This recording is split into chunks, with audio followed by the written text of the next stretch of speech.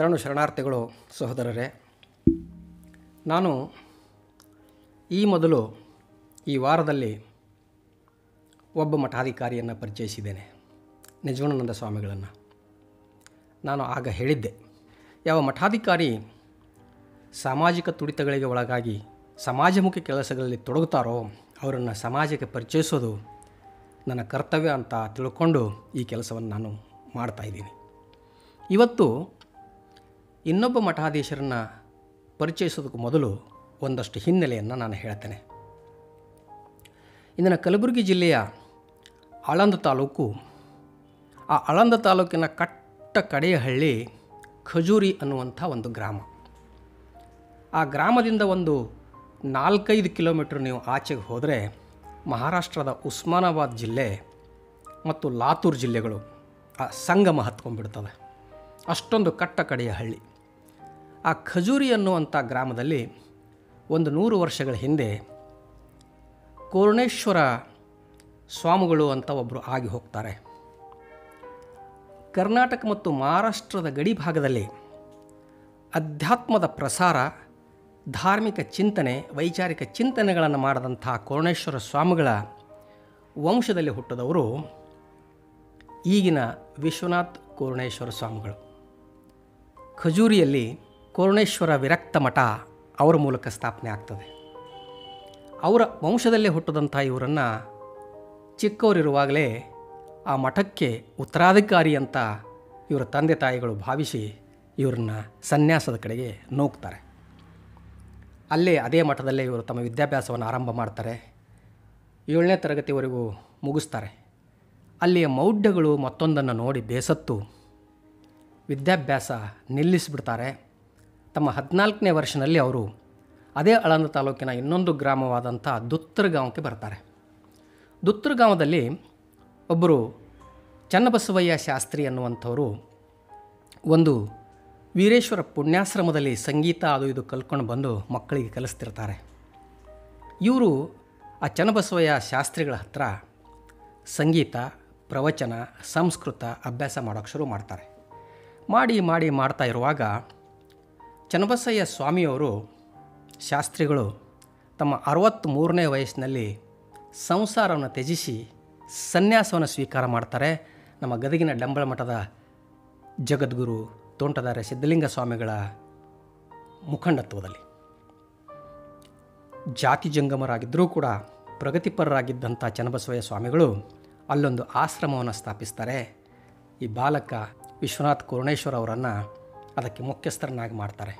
ನೋಡಿ, ಅವರು ಹುಟ್ಟೂರಾದ ಖಜೂರಿಯಲ್ಲಿ ತಮ್ಮದೇ ಪೂರ್ವಜರು ಸ್ಥಾಪಿಸಿದಂಥ ವಿರಕ್ತ ಮಠಕ್ಕೆ ಕೋರಣೇಶ್ವರ ವಿರಕ್ತ ಮಠಕ್ಕೆ ಅಲ್ಲಿನ ಜಾತಿ ಜಂಗಮರು ಇವರನ್ನು ಉತ್ತರಾಧಿಕಾರಿ ಆಗೋದಕ್ಕೆ ಬಿಡೋದಿಲ್ಲ.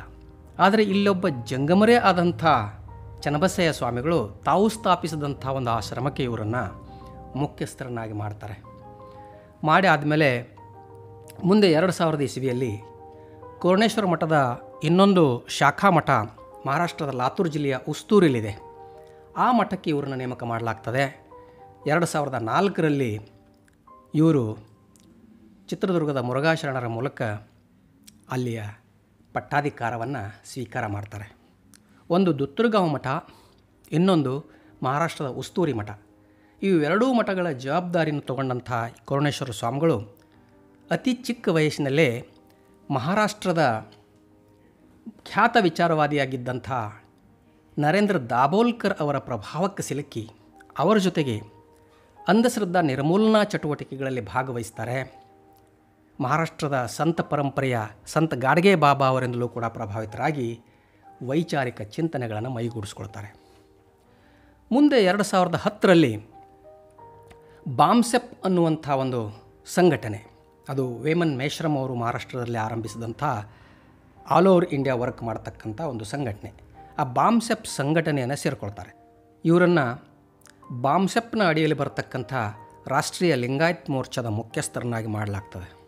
ಮುಂದೆ ಎರಡು ಸಾವಿರದ ಹತ್ತರಲ್ಲಿ ಆಗ ಪಶ್ಚಿಮ ಬಂಗಾಳದಲ್ಲಿ ಬಾಮ್ಸಪ್ನ ಒಂದು ದೊಡ್ಡ ಸಮಾವೇಶ ಆಗ್ತದೆ. ಆ ಸಮಾವೇಶದಲ್ಲಿ ಇವರು ಲಿಂಗಾಯತ ಸ್ವತಂತ್ರ ಧರ್ಮದ ಚಿಂತನೆಯನ್ನು ಇಡೀ ದಿನ ಚರ್ಚೆ ಆಗುವ ಹಾಗೆ ನೋಡ್ಕೊಳ್ತಾರೆ. ಆ ಮೂಲಕ ಇಡೀ ಭಾರತದಾದ್ಯಂತ ಇವರು ಲಿಂಗಾಯತ ಒಂದು ಸ್ವತಂತ್ರ ಧರ್ಮ, ಅದಕ್ಕೆ ಸಂವಿಧಾನ ಮಾನ್ಯತೆ ಸಿಗಬೇಕು ಅನ್ನುವ ಹೋರಾಟವನ್ನು ಬಹಳ ದಿನಗಳ ಹಿಂದೆಯೇ ಆರಂಭಿಸ್ತಾರೆ.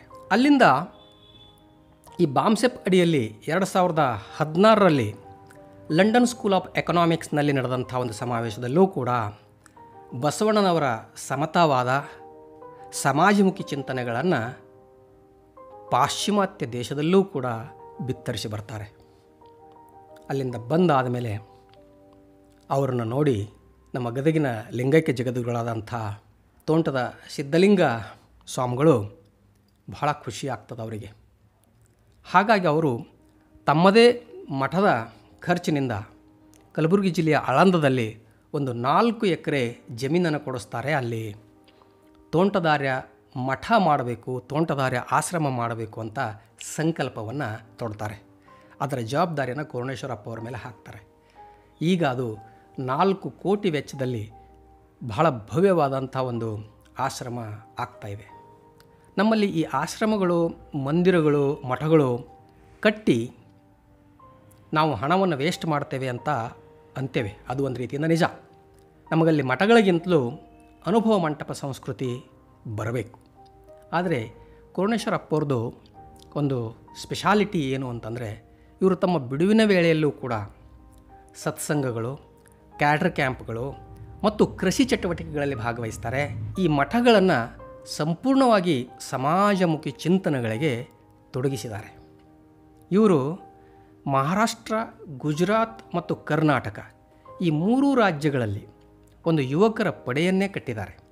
ಮೊದಲು ಮೊದಲೆಲ್ಲ ಇವರ ವೈಚಾರಿಕ ಚಿಂತನೆಗಳಿಗೆ ವಿರೋಧ ಮಾಡ್ತಿದ್ದಂಥ ಆ ಯುವಕರು ಇವತ್ತು ಅವರ ಪಕ್ಕಾ ಅನುಯಾಯಿಗಳು ಮತ್ತು ಅವರ ಬೆಂಗಾವಲು ಪಡೆ ಹಾಗಾಗಿ ಮಹಾರಾಷ್ಟ್ರದಲ್ಲಿ ಲಿಂಗಾಯತ ಒಂದು ಸ್ವತಂತ್ರ ಧರ್ಮ ಅನ್ನುವಂಥ ಹೋರಾಟ ಅಷ್ಟೇ ಅಲ್ಲದೆ ಸಾಹು ಮಹಾರಾಜ್, ಮಹಾತ್ಮ ಫುಲೆ, ಅಂಬೇಡ್ಕರ್ ಮುಂತಾದ ಸಮಾಜಮುಖಿ ಚಿಂತಕರ ತತ್ವಗಳನ್ನು ಪ್ರಸಾರ ಮಾಡೋದು ಜನರಲ್ಲಿ ಜಾಗ್ರತೆ ಮೂಡಿಸುವಂಥ ಕೆಲಸವನ್ನು ಕೂಡ ಅವರು ಮಾಡಿಕೊಂಡು ಬಂದಿದ್ದಾರೆ.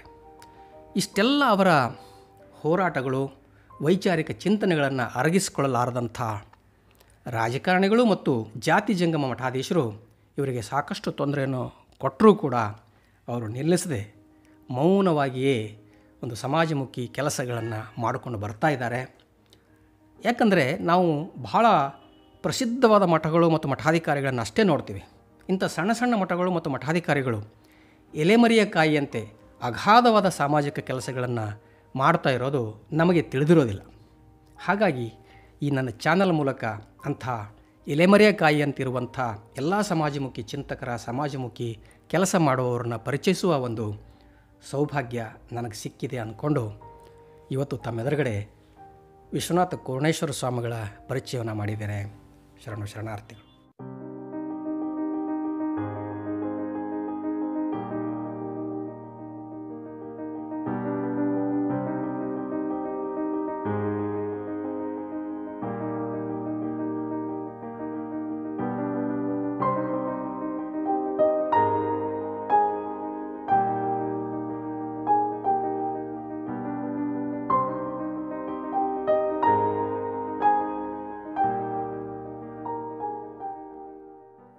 ಸತ್ಯವನ್ನು ಪ್ರತಿಪಾದಿಸುವ, ಜನರನ್ನು ಜಾಗೃತಗೊಳಿಸುವ ನನ್ನ ಈ ವಿಡಿಯೋಗಳನ್ನು ನೋಡುತ್ತೀರಿ.